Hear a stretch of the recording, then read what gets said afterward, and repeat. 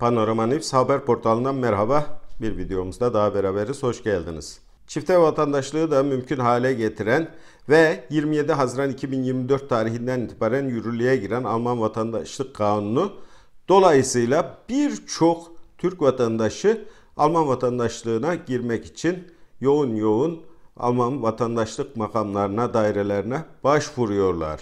İşte biz de bu videomuzda sizlere Alman vatandaşlığına nasıl başvuru yapılır, işlemler nasıl yürütülür bunları anlatmaya çalışacağım videomuzda. Yine genel bilgilerle dolu, dop dolu bir videomuzla karşınızdayız. Videomuz başlıyor.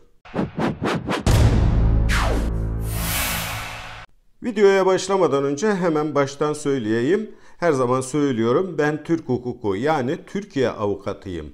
Türk hukuku benim alanım, Alman hukuku benim alanım değil. Ancak bu kanalımızın amacı doğrultusunda sizlere Alman hukukunda da genel olarak bilgilendirmeye çalışıyoruz. O videolarımızı yayınlamaya çalışıyoruz. Bu bilgilerle hakkınızı aramanızı istiyoruz.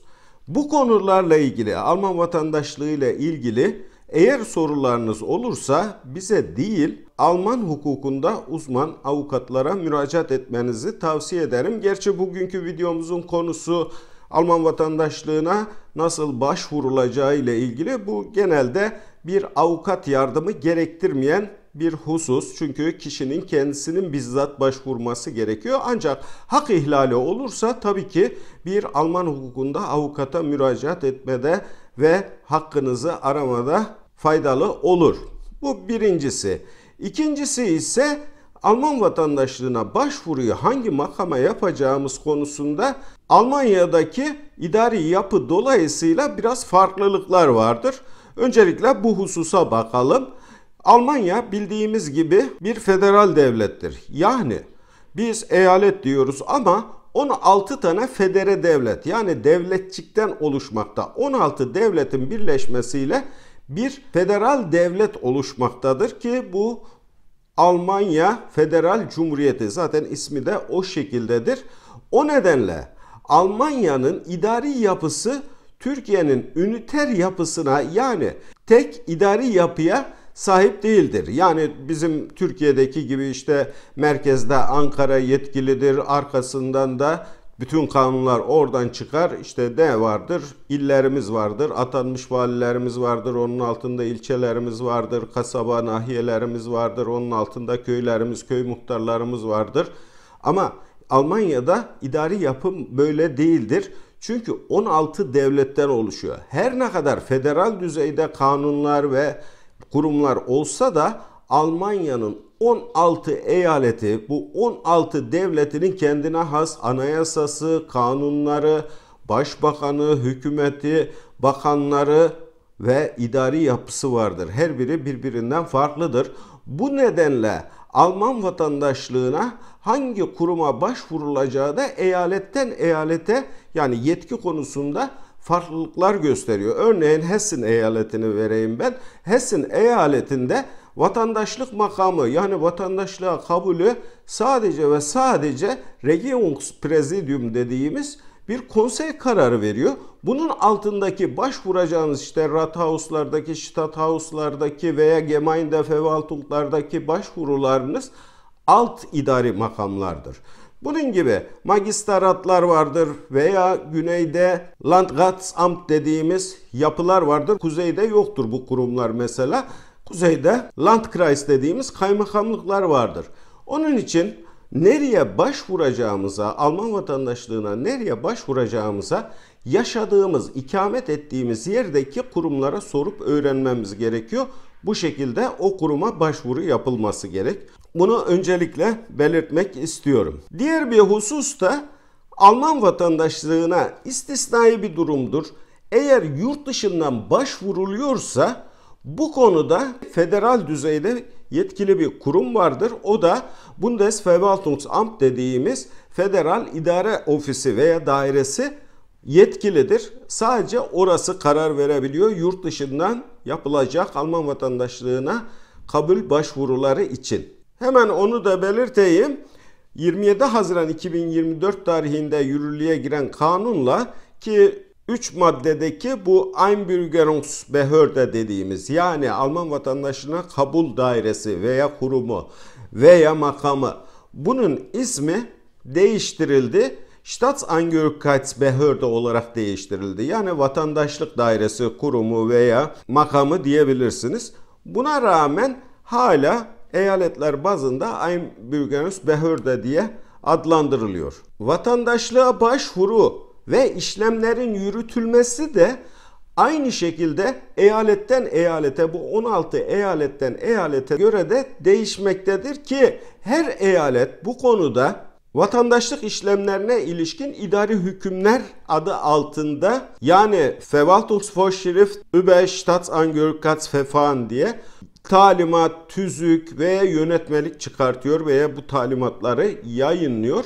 Ona göre yürütülüyor. Yani her eyalette bu genel çatı evet Alman vatandaşlık kanunu federal düzeydedir ama idari işlemlerin yürütülmesi de eyaletten eyalete bu şekilde değişiyor. Ben burada daha sade olduğu için Sachsen, Saksonya eyaletinin 16 Temmuz 2024 tarihinde yayınlamış olduğu bu Verwaltungsvorschrift über Staatsangehörigkeitsverfahren dediği talimatı örnek alacağım ve başvurunun nasıl yapılacağını size izah etmeye çalışacağım.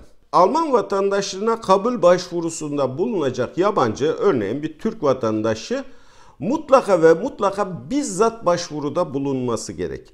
Kendisi bizzat gidip bu Einbürgerungsbehörde veya Staatsangehörigkeitsbehörde dediğimiz bu Alman vatandaşlık dairesine başvurduğunda kendisi ilk olarak bilgilendirilir. Yani Alman vatandaşlığına alınma prosedürü hakkında ve alınacak harçlar, giderler konusunda kendisi bilgilendirilir ve başvuruda hangi formları kullanması gerektiği, bu formlarda verilecek bilgilere ilişkin hangi belgeleri ibraz edeceği bir liste halinde kendisine verilir. Demin de söylediğim gibi Alman vatandaşlığına başvuru mutlaka yazılı ve bizzat yapılmalı. Yani bir vekille başvuramazsınız. Elbette bir çocuk için başvuruluyorsa onun velisiyseniz bir boşanma halinde örneğin velayet hakkı zor gerek söz konusuysa tabii ki sizin yetkiniz vardır veya vesayet altına alınmışsa, Betroya altına, Vormundschaft altına alınmışsa elbette ki onun vasisi başvurabilir. Ama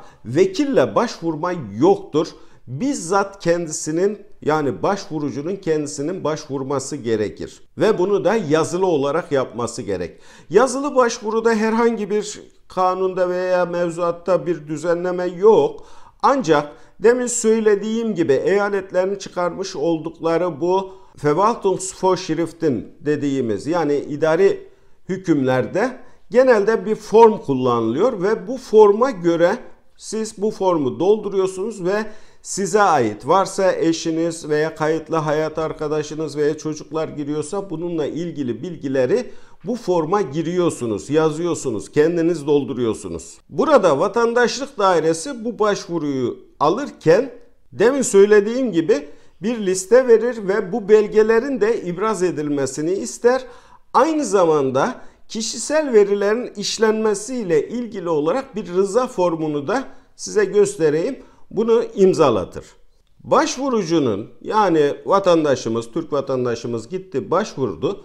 Bu bilgilerin formda olsun veya ibraz edeceği belgelerde olsun mutlaka tam ve doğru şekilde ve doğrulanabilir şekilde olması gerekir.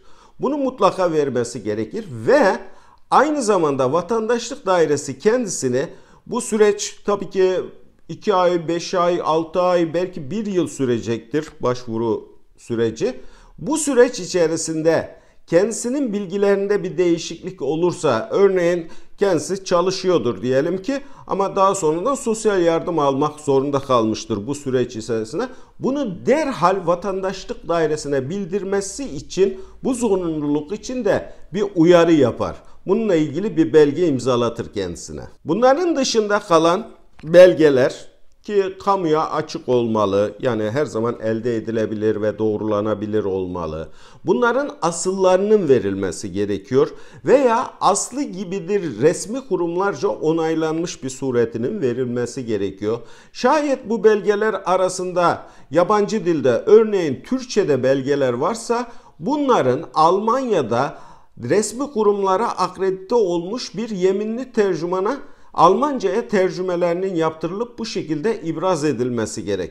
Şayet istisnai bir uygulama o bölgede eğer bu şekilde akredite olmuş yeminli bir tercüman bulunmuyorsa vatandaşlık dairesi kendi yetkisini kullanarak bu konuda yetkisini, uzmanlığını da ispat eden herhangi bir kişiyi tercüman olarak atayıp ona tercüme işlemi yaptırabilir. Ama dediğim gibi bu çok istisnai bir durumdur. Diğer önemli bir husus ise ibraz edilememesinden dolayı süreç uzuyorsa yani başvurucu yabancı Türk vatandaşımız başvurdu ama belgeleri temin etmede bir gecikme söz konusuysa vatandaşlık dairesi bu başvurucuya bir ihtarname gönderir ve son bir tarih verir. Der ki şu tarihe kadar getir yani frist diyoruz.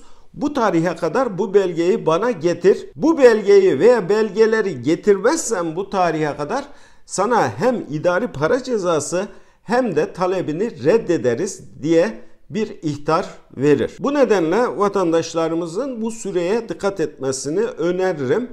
Ancak şöyle yapabilirsiniz. Eğer geçerli bir mazeretiniz varsa vatandaşlık dairesine yazılı olarak başvurup mazeretinizi de tabii ki ispatlamak şartıyla bu süreyi uzatabilirsiniz. Yani Fristverlängerung dediğimiz bu süreyi uzatma imkanınız var. Tabii ki vatandaşlık dairesi kabul ederse o nedenle bu süreye dikkat edin yoksa talebiniz yani başvurunuz reddedilebilir. Başvuruda ibraz edilecek belgeleri burada saymayacağım çünkü video çok uzuyor. Onu takip ederseniz ikinci bir videomuzda, diğer bir videomuzda sizinle paylaşacağım. Başvuruya alan vatandaşlık dairesi başvurucunun varsa eşinin veya kayıtlı hayat arkadaşının durumunu verilen bilgi ve belgelere göre kendisi araştırma yapar. Örneğin vatandaşlık dairesi normalde kişinin yurt dışındaki yani Almanya dışındaki bilgileriyle ilgili olarak bir işlem yapamaz ama bunu belgelendirmesini başvurucudan isteyebilir. Yine vatandaşlık dairesi örneğin diyelim ki vergi dairesinden bir bilgi alacaksa bununla ilgili olarak bir rıza formunu vatandaşımıza yani başvurucuya imzalatır. Bu şekilde vergi dairesinden bilgi alabilir ama bu bilgilerin de mutlaka ve mutlaka sadece vatandaşlığa kabul işlemleriyle ilgili olan kısım için isteyebilir. Vatandaşlık dairesi yabancının vermiş olduğu, ibraz etmiş olduğu bu belgeye göre kendisinin veya eşinin varsa eşinin veya kayıtlı hayat arkadaşının Almanca dil bilgisini, vatandaşlık testini başarıyla geçip geçmediğini, eğer dil ve vatandaşlık testinden bir muafiyetin olup olmadığını,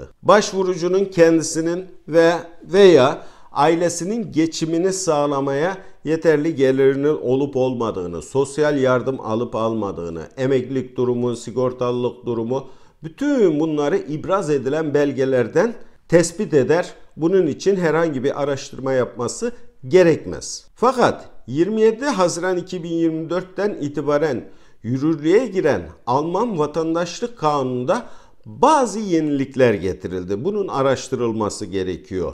Nedir bu? 11. maddede örneğin Alman vatandaşlığına başvuruda bulunan yabancının başvuru yaptığında birden çok eşli olmamalı. Yani poligami dediğimiz çok eşli bir durumu olmamalı. Alman anayasasında belirtilen kadın erkek eşitliğini zedeleyecek herhangi bir faaliyetinin de bulunmaması gerekir. İşte bunların araştırılması için de kendisinden bir rıza formu alınır ve bunlar İç İstihbarat Teşkilatı olan Anayasayı Koruma Kurumu yani Verfassungsschutzlara sorar ve aynı zamanda da eyalet kriminal amt dediğimiz kriminal polis dairesine bunları sorup araştırmasını ister. Yine kanun değişikliğiyle aynı 27 Haziran 2024'te getirilen bir yenilik ki 32B maddesi eklenmişti. Buna göre bazı suçlardan alınan mahkumiyetler Alman vatandaşlığına kabulde engel değil. Ancak bu suçların işlenmesinde bir antisemitist veya ırkçı veya insan haklarına aykırı bir sahikle işlenip işlenmediği konusunda vatandaşlık dairelerine bir görev düştü. Vatandaşlık dairesi bu suçlarla ilgili olarak Cumhuriyet Savcılığına işte ceza mahkumiyet kararında bunun hangi sahikle işlendiğine dair bir tespiti olup olmadığı konusunda yetkili savcılığa yazı yazar ve bilgi ister. Savcılıkta ivedilikle bu bilgiyi o vatandaşlık dairesine bildirmekle yükümlü. Peki başvurduk ama bir engel halimiz var. Bunu ama zaman içerisinde, süreç içerisinde kaldırılabilir. Bu durumda ne olabilir? Bu durumda Alman Vatandaşlık Dairesi bunu erteleyebilir. Yani kabul veya red vereceği konusunda bir erteleme yapabilir. Elbette bu vatandaşlığa kabul ihtimali olduğunda yani o engel kalktığında vatandaşlığa kabul edilecekse ancak kabul edilmeyecekse reddedilme ihtimali var ise bu durumda başvurucuya bir ihtar verilir. Ve vatandaşlık dairesi der ki gel bu talebinden vazgeç yoksa ben şu şu şu şu gerekçelerle talebini reddedeceğim. Alman vatandaşlığa kabulünü reddedeceğim diye bir ihtar verir ve aynı zamanda da bazı eyaletlerde bu birebir görüşme şeklinde yapılıyor. Bazı eyaletlerde yazılı olarak veriliyor.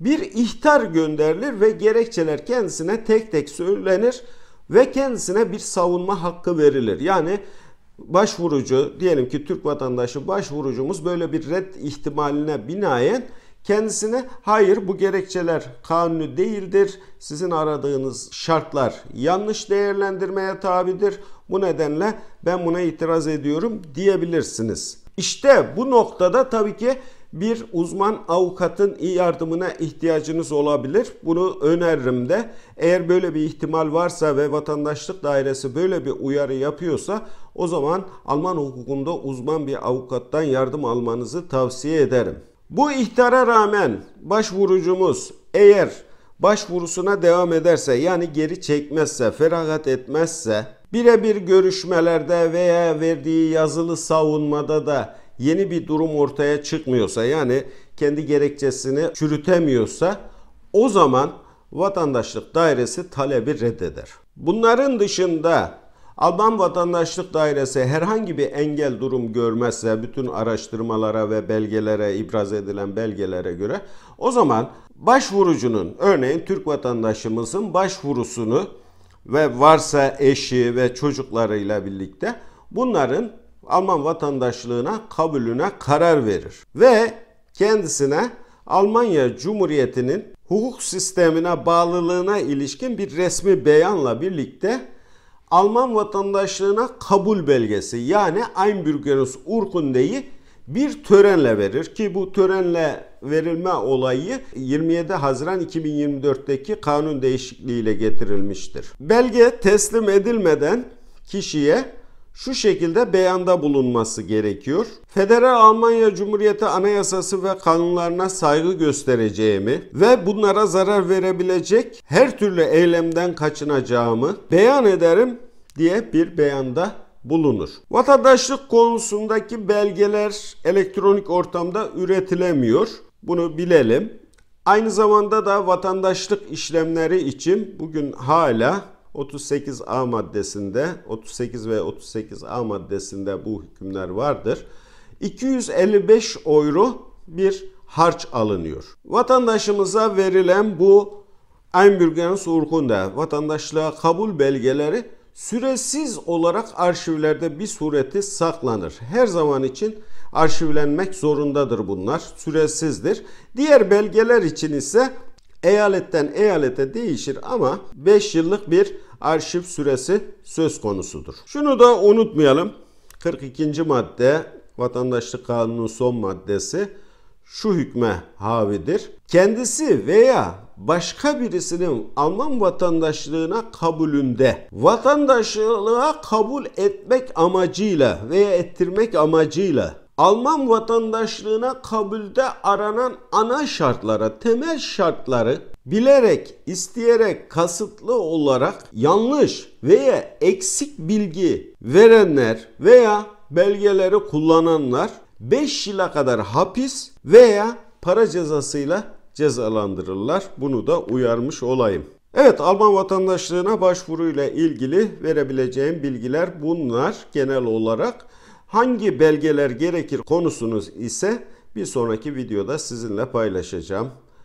Diğer videomuza kadar görüşmek üzere iyi günler.